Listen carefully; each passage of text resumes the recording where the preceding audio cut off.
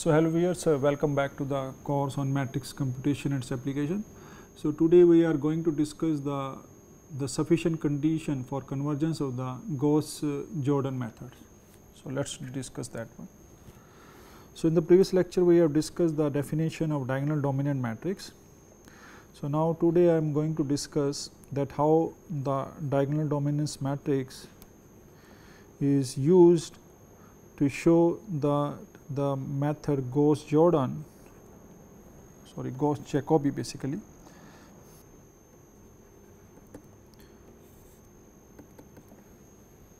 Gauss Jacobi method. So, it is not the Gauss Jordan Gauss Jacobi we are talking about. So, suppose I have a matrix A and that matrix is a n cross n and we have a system of equation A x is equal to so, this is n cross 1 and this is n cross 1. So, this is my system and it, this system is a very big system it is not a 3 by 3 matrix or it may be a million by million matrix. So, in this case I want to solve this system to find out the solution. So, in the real applications we always go with this type of matrices that is the dimension of the matrix we can have a very large dimension. So, we apply the iterative process. So, in the Gauss Jacobi method suppose we have this one. So, I can write this matrix as A 1 1 x 1 plus A 1 2 x 2 A 1 x n that is suppose equal to B 1. Similarly, we can write A 2 1 x 1 a 2 2 x 2 a 2 n x n is equal to b 2 and I can write here a n 1 x 1 a n 2 x 2 and a n n x n is equal to b n. So, this is my corresponding system of equation. Now, what I am going to do is that in this equation so, from here I am just keeping these things on the left hand side and taking the other terms on the right hand side. So, what I am going to do is that I am going to have here x 1 1 is equal to I can write as a b 1 minus taking all the terms on the right hand side. So, this one I can write as summation all a i j x j. Now, I can write from here that i is moving from 1 to. So, in this case I, I can have this uh, uh, j. So, basically I will take j from 1 to n and I can write that the j is not equal to i. Okay. And this is true for all i. It means suppose I am taking here. So, it is 1 2 1 3. So, I can maybe I can uh, uh, write here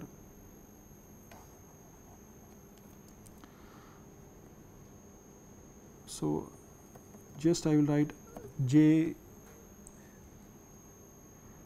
or maybe I can write from here 1 j. So, this one I can write and then divide by a 1 1. Okay. So, my matrix a 1 1 is not equal to 0 and also so this is my matrix and also I am writing that suppose matrix A is diagonal dominant. So, this definition we already know that what is the diagonal dominant. So, suppose we are considering also that A is diagonal dominant matrix and then we are going to write the Gauss uh, uh, Jacobi method for solving this system iteratively. So, I can write like this one. Similarly, from the next equation I can write my x 2 2. So, that can be written as B 2 minus summation. So, it is 2 2 2. So, I can write from here and I can write j is not equal to 1 whatever the 1 is there I can not take. Okay, so, maybe I can write here just for the indexing I can write from 2. Now, from here I am taking x 2 2. So, I am writing here again j is from 1 to n a 2 j x j divided by a 2 2 and I can write that j is not going to be 2. So, all this I can write in the form of this equation. So, it will be b n summation j from 1 to n a n j x j and then divided by a n n j is not equal to n. So, whatever the I am taking this will corresponding to this system. So, now from here this becomes that how we can write our system. Now, based on this system I can make this system in the iterative form. So, from here you can write this as so each equation can be written now. So, I can write this equation as so now we can write the iterative scheme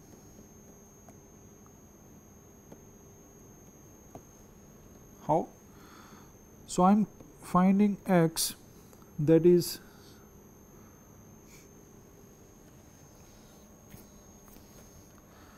maybe i should write here not x 1 1 it is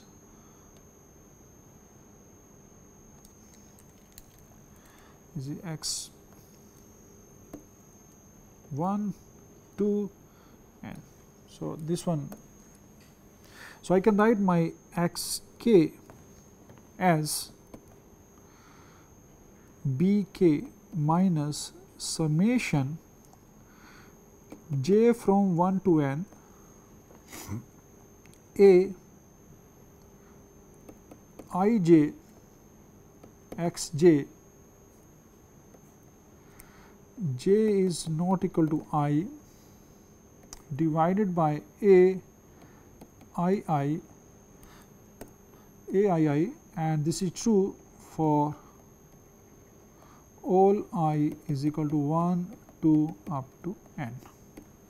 So, this one I am writing or maybe I can write this as because I am writing i. So, I should write here i only not k. So, I will write i. So, my x i is equal to b i minus this part where j is not equal to i. So, this is the corresponding system this system I have written with the single equation. Now, based on this equation now I want to make it the iterative process. So, in the iterative process what I am going to do is that suppose I am finding at k plus 1 step and this value is given to me at the k step. So, this is corresponding iterative schemes we get. So, this is my iterative scheme. Now, so this is my iterative scheme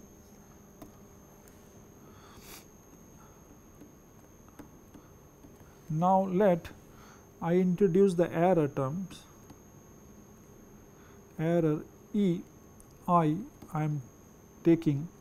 So, this is suppose I am calculating at the k plus 1 step that is equal to I am finding the value of x i at k plus 1 step minus this is the exact value. So, this is the error we are taking. So, basically this is exact solution. So, this is the solution basically exact because in the iterative scheme we are going to improve our solution starting with the initial solution and this is the exact solution whatever the solution is there if we we are able to solve the system exactly then this is suppose the exact solution and this is the solution at the k plus 1 step and I am taking the error E i at that time. Hmm. Now, so this equation I can give the name as equation number 2. Also, I can write my x i is equal to b i minus summation j from 1 to n and j is not equal to i. A i j x j divided by a i i where i is 1 2 up to n. So, this equation I write 3. Now, 2 minus 3 I subtract this equation second equation minus the third equation. So, what I will get is I will get my x i at k plus 1 step minus x i and this b i will cancel out because b i and b i are same. So, if you see I will get only summation so, I may be this minus this. So, negative x i. So, from here I am getting minus a i j x j k plus 1 if you see from here minus x j okay. So, this one I can write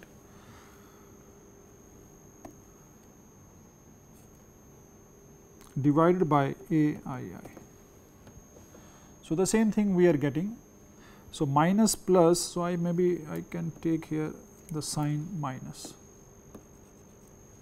just does not matter. So, this one I am getting.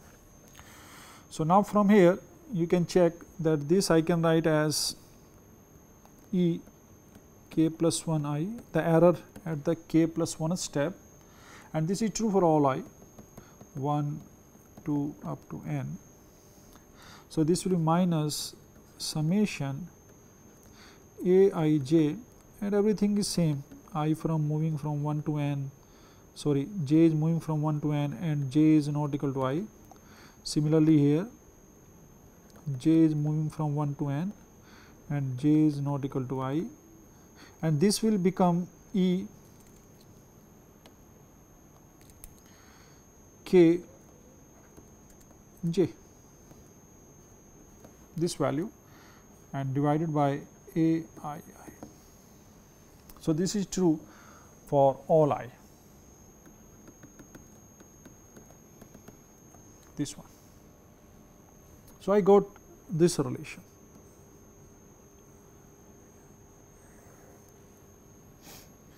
So, this is a error term we are getting at the so I can write that this is the error term error term at k plus 1th iteration.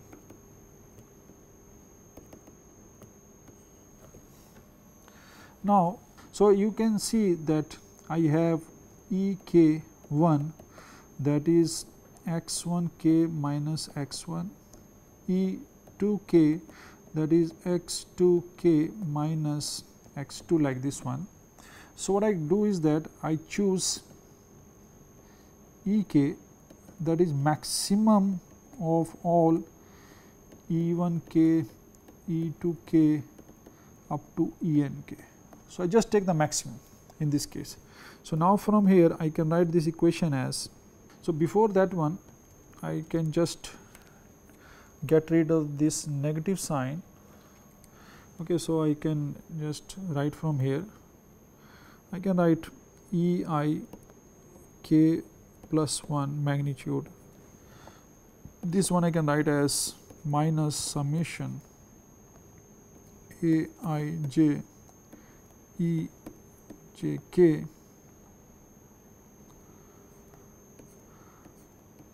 a i i this one and this can be written as I know that this can be uh, written as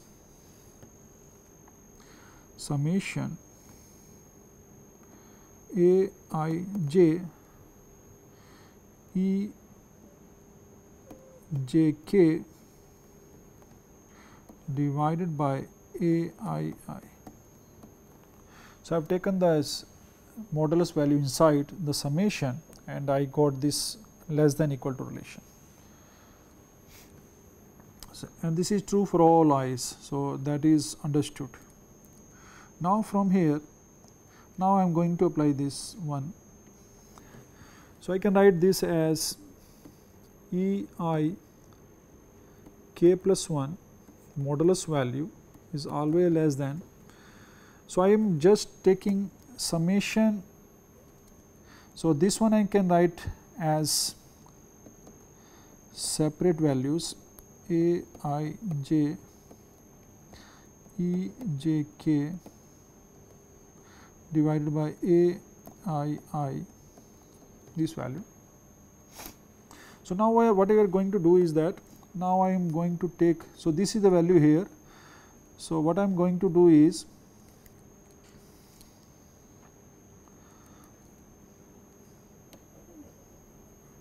this is I will take the magnitude. So, I can write from here that summation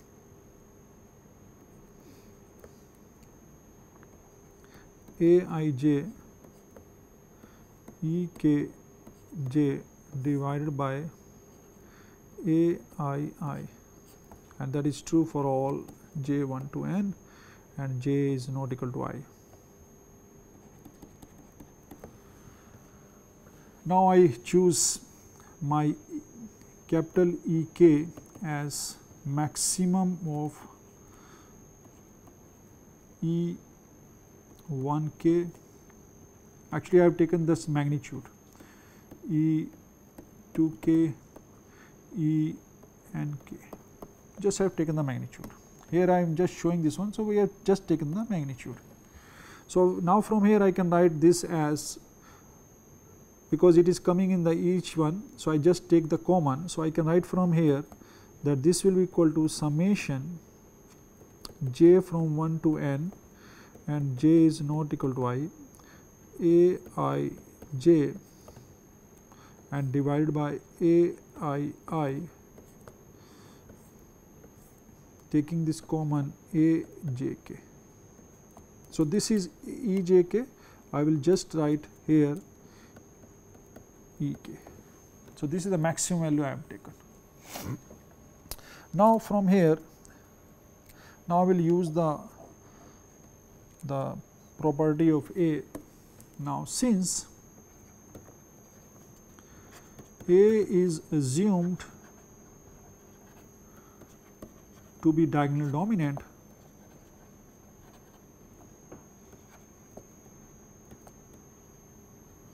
which implies that AII modulus value that is going to be greater than summation A i j modulus value and I will take j from 1 to n and j is not equal to i and i is moving from 1 to up to n.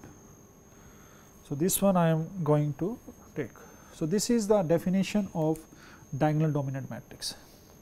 So, from here I can write, so I just take this element here. So, I can write from here the, the summation j from 1 to n a i j modulus value divided by and j is not equal to i divided by a i i modulus.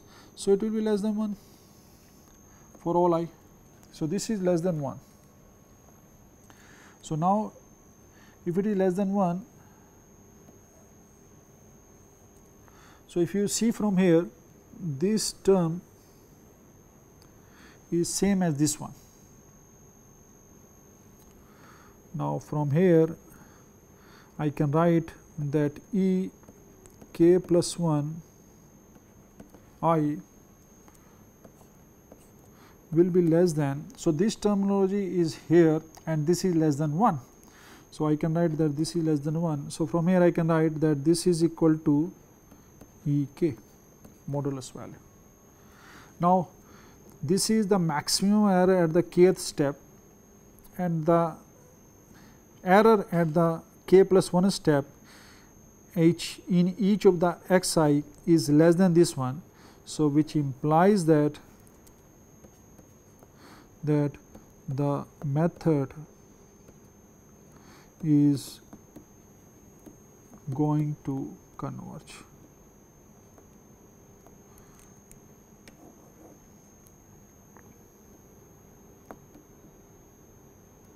Why it is going to converge? Because the error introduced at the kth iteration and the error introduced at the k plus 1 iteration. So, at the error at the k plus 1 iteration is becoming lesser than the maximum error at the kth iteration.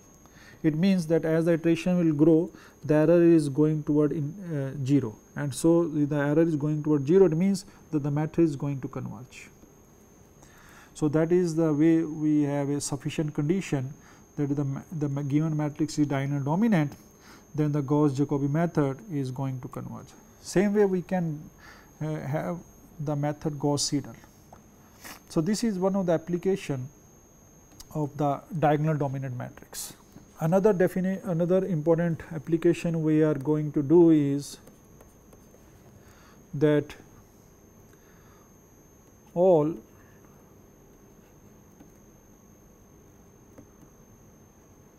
diagonally dominant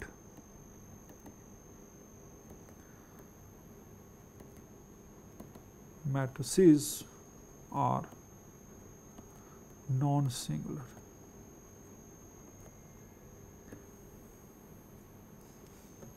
So, this is one, one of the another application. Suppose I take the matrix A and this matrix is suppose I take 5 by 5 matrix. Like I take matrix 4 here minus 1 0 1 1 and suppose I take 1 minus 6 2 0 1 minus 1 1 5 1 minus 1 then 2 minus 3 0 minus 9 2 and the last is 1 3 minus 2 minus 2 and suppose it is 10 So, this is a 5 cross 5 matrix. And if somebody asks me that whether this matrix show that whether this matrix is singular or non singular then we have either we have to convert this matrix into the suppose row echelon form. And then from there I can say that if the rank of this matrix is equal to 5 then this matrix will be non singular. but it is just a 5 by 5 matrix. Maybe it can be a 10 by 10 or 20 by 20 but now from here if you check that this matrix is diagonal dominant because this 4 is greater than summation 3 6 is greater than 1 plus 2 4 5 is greater than all the elements modulus value summation of the modulus value that is 4 and here it is 9 is greater than the 3 plus 2 5 plus 7 and this is greater than because modulus value is going to give you 3 plus 1 4 and 4 8. So, this matrix is a diagonal dominant matrix and from there I can say that this is a non singular matrix. So, that is the benefit of checking the diagonal dominance because once we get that the matrix is diagonal dominance then easily we can say that this is a non singular matrix. So, let us prove this one. So, how we are going to prove? So, suppose we have a matrix A that is diagonal dominant. So, suppose I take n by n matrix. So, this is diagonal dominant matrix.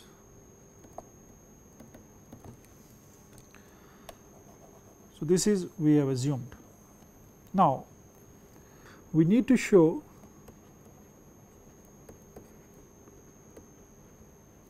that if the null space of A is just contain the 0 element, then we are done because if we have seen that if the null space of a matrix contains a 0 element and the matrix is a square matrix, then the number of columns are linearly independent or the number of rows are linearly independent and then it means that the rank of the matrix will be equal to the the number of variable that is n. So, now we are going to show these things. So, let we have a x equal to 0 such that x is not equal to 0. So, I am taking the system A x equal to 0 homogeneous system such that assuming that x is not equal to 0. Now, suppose x is not equal to 0. So, let us assume that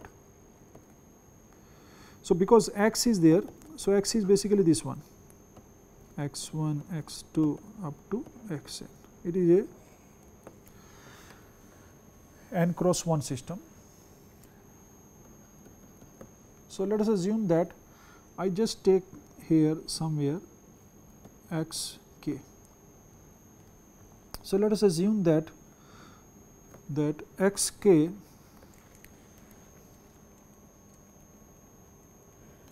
x k entry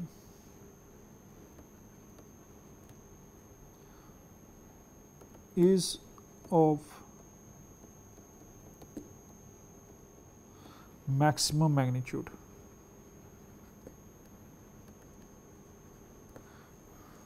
in x. So, let us assume that because x is going to be a vector. So, suppose my x I take just as 1 minus 1 minus 3 4 5 suppose I take this one minus 4 or so in this case I will assume this value. So, let that is the my x k. Now, focus on the kth row of the system because we are getting that the x k is the of maximum magnitude. So, I am talking about only the row corresponding to the kth. So, we are talking about the kth only. So, let us uh, take this one. So, now I am taking only the kth row. So, it will be equal to a k 1 x 1 plus a k 2 x 2 a k n x n that will be equal to 0. So, I am writing the system A x equal to 0 and in that system I am taking only the kth row. So, this is my system homogeneous system I am talking about and from here I get this value. Now,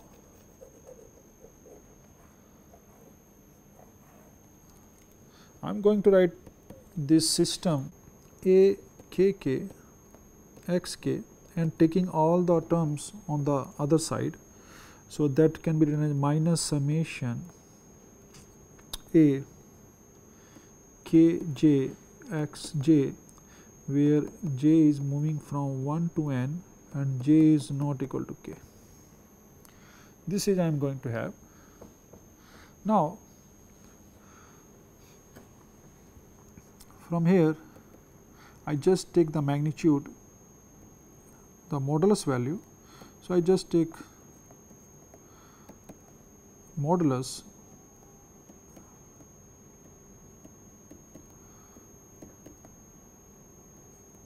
this value. So, basically this will removed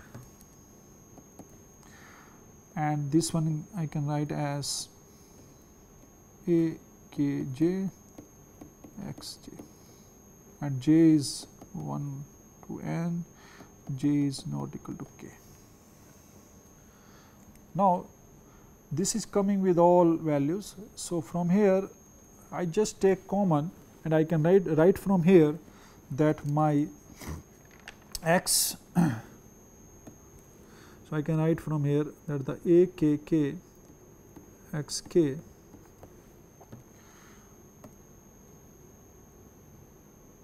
is equal to a k j x j and j is moving from 1 to n, j is not equal to k. This can be written as summation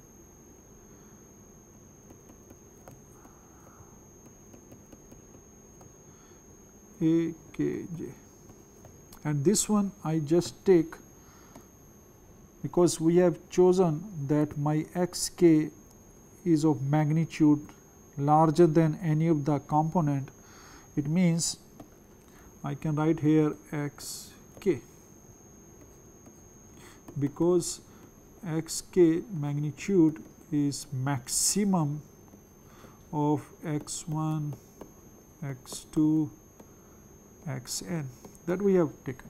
So, I have just taken this one and just taken outside because otherwise it is coming with the each member, but I have taken the x k in all and taken the common from there.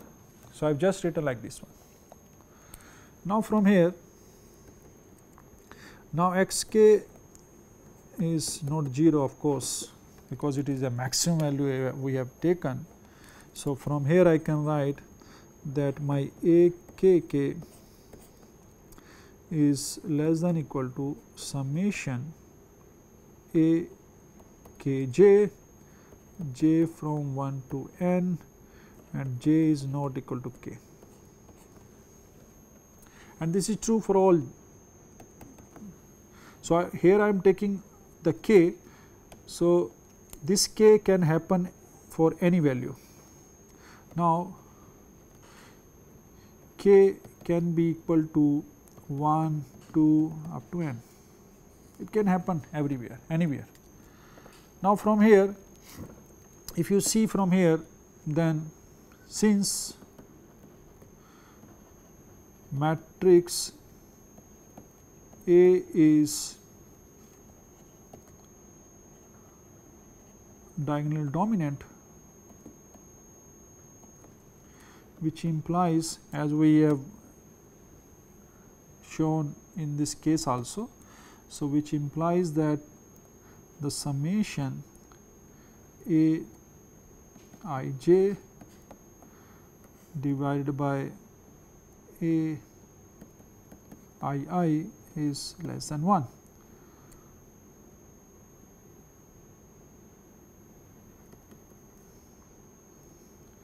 And j is not equal to i and this is true for all. So, this is I have just written this value, but here it is this one. So, from here I can just give the number here. So, maybe I can give it 1. So, from 1 which implies that the matrix A is not diagonal dominant.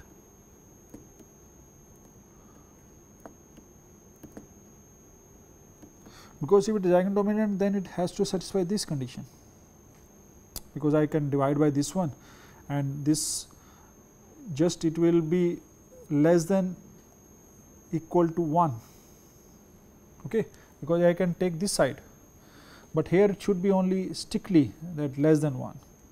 So, from here I can say that based on this condition I can say that 1 is not diagonal dominant.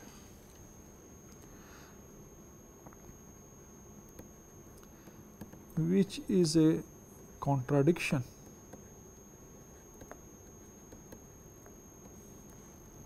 So, which implies that A x is equal to 0 and so which is a contradiction means which implies that the x should be equal to 0 for A x equal to 0 because in we have started with a x equal to 0 and we assume that x is not equal to 0. But from here we got the contradiction means our assumption was wrong we have to choose x should be equal to 0. So, which implies that the null space of A should contain only 0 element and from here I can say that the matrix A is non singular. So, the given matrix will be non-singular. So, that is the proof of this theorem. So, we will stop here today. So, in the today's lecture we have discussed uh, the property that is diagonal dominant matrix and based on that we have showed that how the iterative method that is Gauss-Jacobi has a convergence and how a diagonal dominant matrix is a non-singular matrix. So, we will uh, continue with this one in the next lecture. So, thanks for watching, thanks very much.